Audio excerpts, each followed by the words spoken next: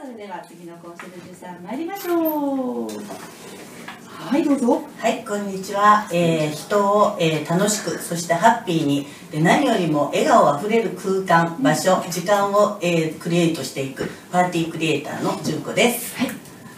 元気な時間お願いします。またちょっと声が大きいという今ねマイクちょっと遠いかなと思ったら大丈夫だそうです。もう今日も張り上げてきましたよ。朝から一発。学校だもんね。はい、はい、そうなんです。お疲れ様でございました、はい、えー今日は、えー前回用意してきて、あのそこまで至らなかったんですが、えーそれこそ道菜さん、うん。梨コンってわかりますか？梨コン？梨コン。聞いたことあります。きあさすがだね。わかんない。聞いたことあるない。えーいわゆる、まあ、結婚あの今まで結婚をするっていうことは、うん。挙式をしてパーティーをしてそして初めてったりとか。そうです。うん。それで初めて結婚したっていうことになるんですが、うん。最近そこを結婚え挙式をするパーティーをするを省いて入籍だけをするというもう結婚式がないなし婚という人がすごく増えてるんですね。あーまあでもそうかもしれない。あのそうなんです。席だけ入れました。そうなんです。うん。結構周りにいませんか？もう子供がいるんだけど実は私結婚式してないんだとかそういった人がとっても多いと思うんですけれどもうんここで数字に弱い川田として、えー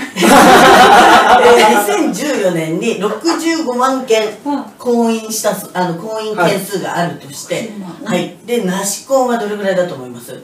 えーどう？半分ぐらい。ピンポーン、そんなにそう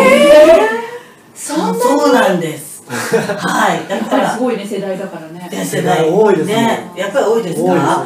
そうなのでなそのなし婚葬を、えー脱党しようと、うん。もうなし婚葬をぜひ もうみんな結婚式をしろーみたいなね。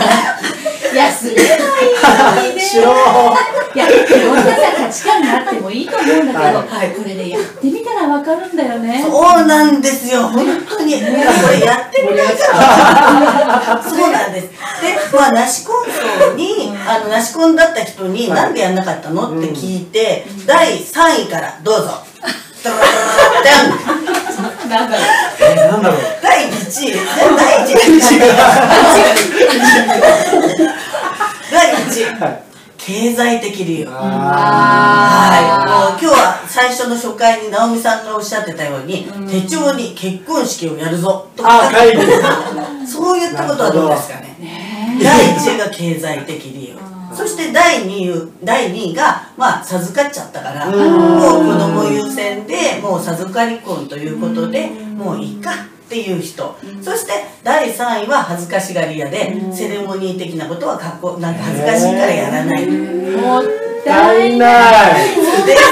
もったいない。もうですので、まあ、経済的理由なんていう人は特に、まあ、直美先生の、えーまあ、手帳術で、まあ、お金を稼いでいただきながら予算内で、えー、純子がまさに皆様をプロデュースすると。こんな流れでいかがでしょうか？素晴らしい。素晴らしい。いやこうじゃなきゃいけないってないもんね。そうなんです。オリジナリティがあっていいでももん例えばここの場所を借りて結婚式もできるかもしれないですよ。そうです。クリエイターだもんね。そうですよ。もう、リンさんがね、手入れしてくださった。バイトで挙式をね、ありあこり。の番組で募集中っていうのはどうでしょうか？ありあり。全然ありですので、私はもうぜひぜひそのなし婚葬を崩して、はい。えー結婚式をやってよかったっていう人を増やしていきたいということをうん。今目標にしています。絶対やってほしい。はい。あのみんながねしなんか幸せな気持ちになるのよ、うんですよね。私ねしあの私もした時にね、まあ、そんなたくさんの人数じゃなくて身内だけだったけどみんなで全体写真撮った時のあの笑顔そうです。もうや。ってよかったなって思っそたもん。れをね、やんなかったらその笑顔見れなかったわけですよね。ですので、もう本当にそれを知らせるには一体どうしたらいいでしょうかっていうことなんですが、はい。私がぜひこの番組ではい。いろんなエピソードをちょっと伝えていきたいかなとぜひ教えていうふうに思っておりますので、喋ってたら今日までもう ねでも続くでね、はい、続くで、はい。楽しみもぜひそこ頑張っていただきたいと思います、ぜひぜひよろしくお願いいたします。はいありがとうございました。ありがとうございました。お届けいたしました。しゅうこさんでした。はい、した。ありがとうございます